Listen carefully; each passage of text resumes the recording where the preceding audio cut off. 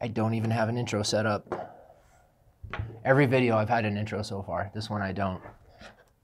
I got my water pipe though, that's for afterwards. All right, let's do this. That is a DaVinci IQ. That is not the DaVinci IQ. That is a knockoff we just got off of DHgate for 50 something dollars. You'll notice a little bit of difference in the consistency of the metal there. We're gonna get into that more. But first, let's talk about these boxes. Look exactly the same, surprisingly well. There's a few things you can notice there though. I've, one thing I picked up right away is the image on the side looks completely different. I don't know why they messed that one up so bad. The rest of the outer of the box looks great. Front looks spot on. Other sides look spot on. The backs, they look very cool. The only thing missing is, of course, the real one has a serial number. This guy over here, and they conveniently forgot that. So two things to notice on that box. Image, serial number. Let's dig a little bit deeper.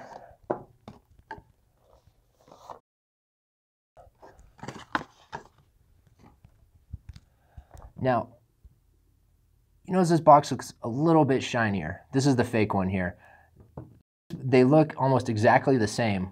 However, this one has more of a soft matte finish. This one is kind of smooth and just feels like more of a cheaper cardboard. I also noticed on this box right here, there's this inner piece that was falling off. You can see the glue in between it, which is pretty shoddy design, especially compared to the regular box. Who would expect a, a counterfeiter to uh, do a bad job, right? Let's get those open. Let's take a look at those stickers. We're just going to go through this piece by piece. The manual's way different look. You can see the actual manual, the real manual, is much more brighter orange. This one's a lighter color. I went through this manual earlier. It's word for word is this one. Everything in there is the same. It talks about the Bluetooth app, blah, blah, blah. I, it looks like they just pulled out um, a, a copier and just did it word for word. So I guess you could say they did a good job on the manual. Underneath, the accessory packaging looks pretty much spot on. Let's pull those apart, see what we got in there. Just gonna make a pile. That's our real stuff over here. Put some fake stuff over here.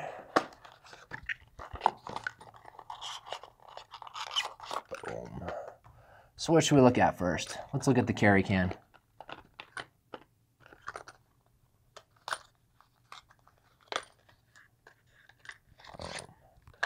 So that is our deliciously fake carrying can. This is our real one. Obvious color difference there. Actually very obvious. It also looks like, ah yeah. The legit one unscrews from the top. Makes sense. It's got a little uh, grommet there, a little rubber grommet to keep it airtight. This one unscrews from the bottom. Feels lighter too. I just noticed that. Way more pain in the butt to unscrew too. Jeez, that's a lot of turns. Just trying to get to your herbs, you know. So there we go. We got those. Let's look at the water adapter.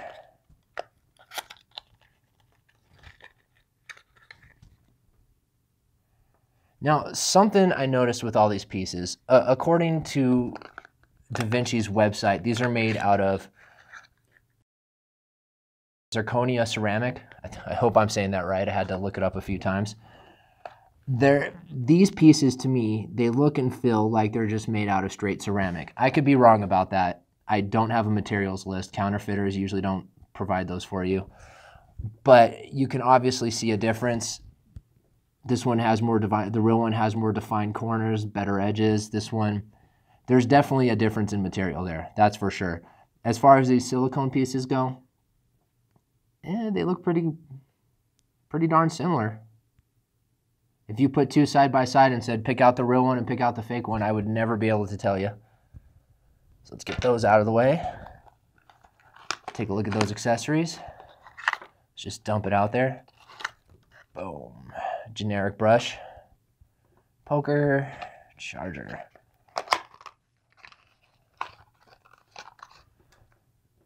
Wow, look how close that looks. I would argue that that's the same charger. Cleaning wipes look the same. The only thing that really looks different here is the cleaning tool, the keychain. So everything else here, we're just going to get out of here because I don't think they would ever help you tell the difference between a real one and a fake one. These guys right here, do I don't think we really need to point out the differences. One's clearly a different color. I noticed earlier on the pokers, the fake pokers have kind of a rounded edge to it where these ones look to be more of a laser cut. They as these look to be pressed. You can see a difference. It's a very minute difference and unless you stare at these for hours, you probably would never be able to tell. Let's get those over there. All right, the entree. Here we go. Stickers on the back look identical. Very, very similar look to them. If you saw these from a distance, if you didn't know a lot about the IQ, you would probably think this knockoff is the legit one. This is the knockoff for keeping it on this side, just to be clear.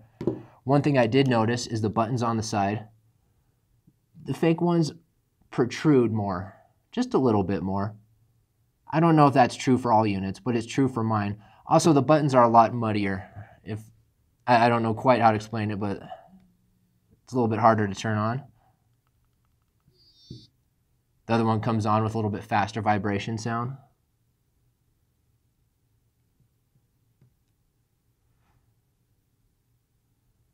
Kind of eerily similar when you actually look at the two side by side charging. Let's get that temperature up.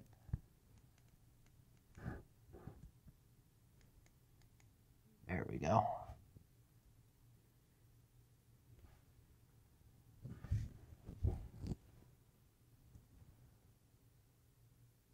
So really, immediately looking at it, there's not a whole lot that indicates that this is a fake vaporizer. Other than the protruding buttons, just with a quick glance, you would never be able to tell. Button operation is exactly the same. Everything works just like it should on the, the legit version. Let's pull this open. Something I did notice right here, the, the magnets feel drastically cheaper. This guy. So it pops out pretty easy again with the materials, we have the zirconia ceramic top piece versus what I believe to be pretty much a straight ceramic top piece.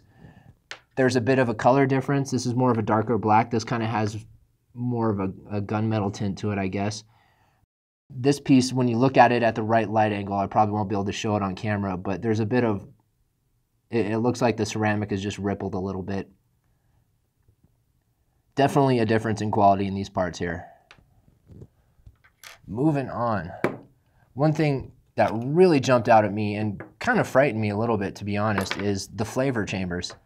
Now, the flavor, they don't look that different from a distance, but once you really get closer there, you notice there's a little bit of splotches on the fake piece. And this one here is at least marketed as 100% zirconia ceramic, this one, I have no idea what the materials are. However, it looks like it was spray painted. It, it, truly does, which is, this is something that gets hot and it's in your direct air path. And that's probably not a good idea. That's not something you're going to want that close to your airflow. The other thing I noticed is the edges up here a little bit sharper. This one here, it's a little bit nicer stamped, a little bit more defined a little sharper on top. Now, as far as batteries go, the fake one did not come with a battery, so we got nothing to talk about there. Whoops, see that? Got him backwards. Did you know I got him backwards? I couldn't tell. It's close, man. It's really close. There's a lot of things in here. You know, you see a little laziness in the design. Like if you look at the battery port, there's just an open gap there that probably, oh, maybe it should be there. Who knows? Let's check out that bottom real quick. Yeah, the magnet on the fake one, you notice too, if I just flick these, flick these hinges around, this one's a lot looser. It's not a tight fit like you get with the IQ. See, Just that versus just little quality things you see everywhere. Uh, the pearl also has a different color consistency on it. That leads me to believe they're not the same. Maybe they borrowed their molds in China or something like that, but they're clearly not the same materials. The chambers and the loading area looks surprisingly similar. I, I would not be shocked if there's um, OEM parts in, in the counterfeit version, unfortunately. The chambers themselves look about the same. I see no difference. It's a shelf part, so that's not a hard part to source. There we go. So, just to recap, things to look for. The box is a lot shittier. That was the dead giveaway for us. The vaporizer itself, the parts feel looser. They're just a little bit more wobbly.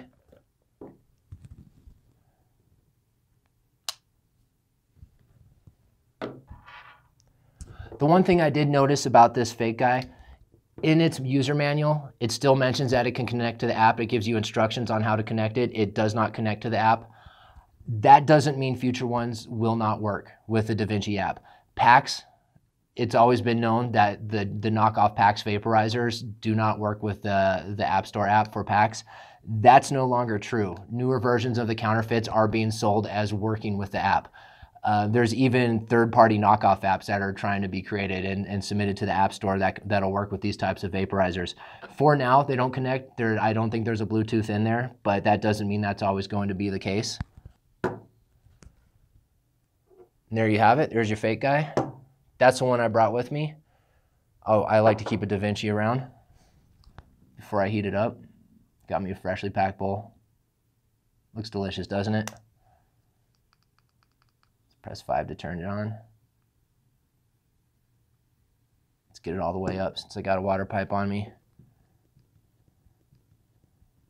This one, I don't think I'm using. I mean, I, I, I I'm not. I like. I have a collection of counterfeit vaporizers. It doesn't mean I always want to try them out. It's fun to have in in your uh, on your shelf. It doesn't mean it's something you actually want to hit. You know, this vaporizer. As soon as we're done here, I'm writing the word fake on it. It's gonna sit in a shelf, and it's gonna be cool to look at. I'm gonna have it part of my collection of fake vaporizers I get to brag about. But will I use it? No, never. Almost heated.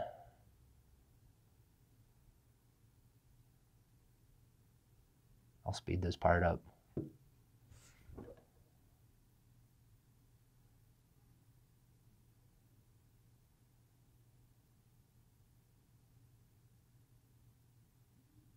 There we go.